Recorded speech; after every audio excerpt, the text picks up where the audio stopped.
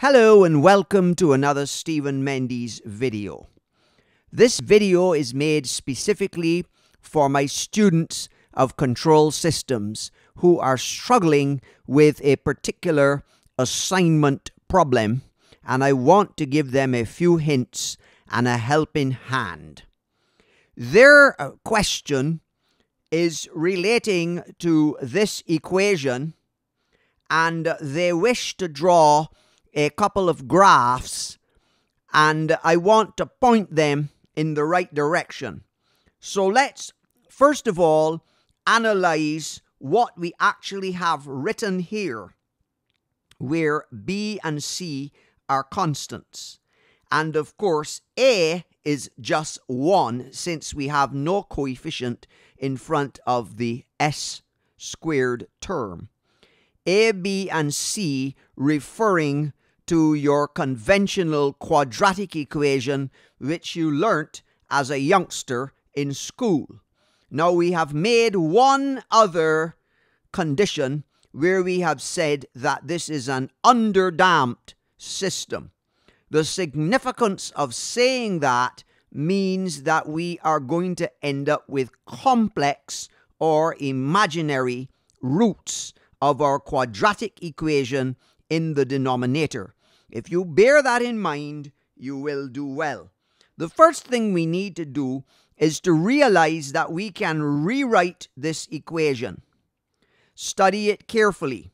We have replaced B with 2 zeta omega n and we have placed, replaced C with omega n squared, where omega n is the natural resonant frequency and zeta is the damping ratio.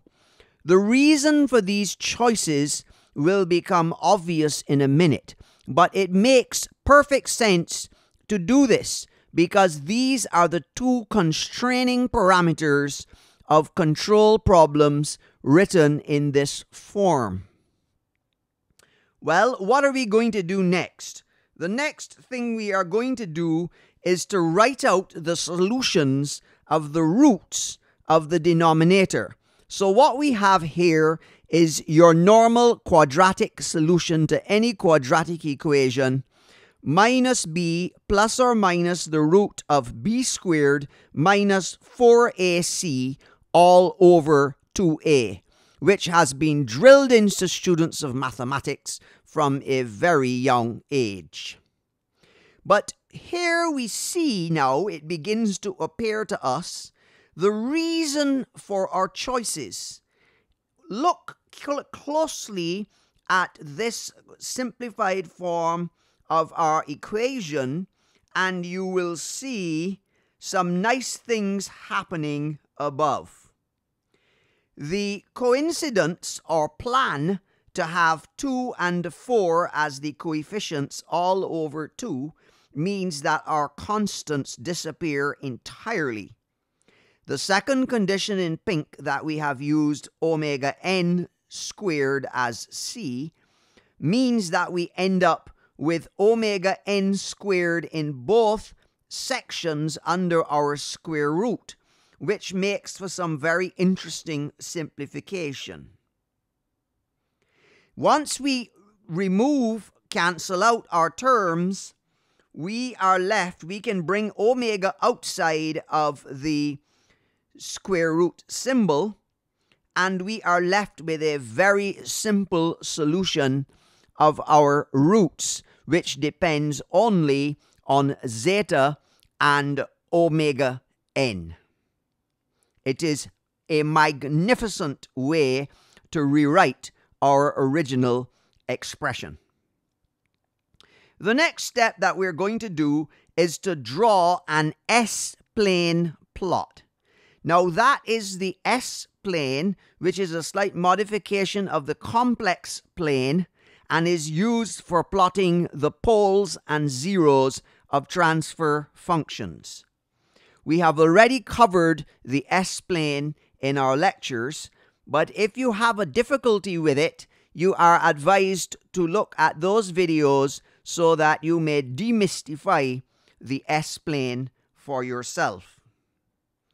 The next thing we are going to do is to realize that our expression for an underdamped system can simplify this even further. Observe when zeta is less than 1, which would be true if the system is underdamped. How would we know this? Well, look at what is under the square root. If zeta is less than 1, we have a complex expression underneath that square root. So if zeta is less than 1, what is under our square root is going to be complex. So we have extracted the omega n and we have put the j operator, and more importantly, we have reversed the 1 and the zeta squared. Make sure you do that. Make sure you understand why we've done that. We now have 1 minus zeta squared instead of zeta squared minus 1 because we want a positive expression under the square root because we have already moved j outside of the square root symbol. So what we have there written now, our expression for S1 and S2, represents the most simplest form of an underdamped system when we are trying to focus on the details, which is zeta and omega n as required by the question. The next step is to plot the roots S1 and S2 onto the S plane. But before we do that, we want you to notice that the magnitude is given by Pythagoras, which is the squares added together and the square root taken of the squares. That is, we square the real part, we square the imaginary part, we add them together, we take the square root, and we end up with the magnitude. Now, notice that in this case, the magnitude ends up as just omega n. Another wonderful outcome of our carefully selected mathematical choices in the earlier part of the solution. So, how does that look when it is put onto our S plane? Observe that omega n is the length of our line from the origin to each of the poles, which is the roots of the denominator as explained in previous classes. Now, we want the students to do some work. We only want to give them some hints. So this is where we are going to conclude our video we have put an angle and we have put some question marks.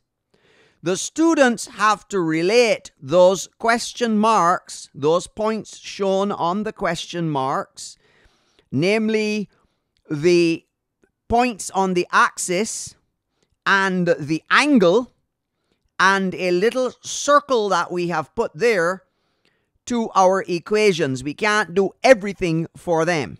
So if they write in those question marks, they will have done well. And the second part of their problem ask them to draw another S-plane plot and show that the locus of roots when omega n is constant Basically, they want to show the variation of zeta and they want to hold omega n at a constant value and indicate the different regions in the S plane where the zeta is above 1, less than 1, or equal to 1. So we have helped them, but we have not done the work for them. Thanks for watching and we hope that you have found this video helpful. If you as an international student has enjoyed our video or has questions, please post in the comments. See you in our next video. Thanks for watching.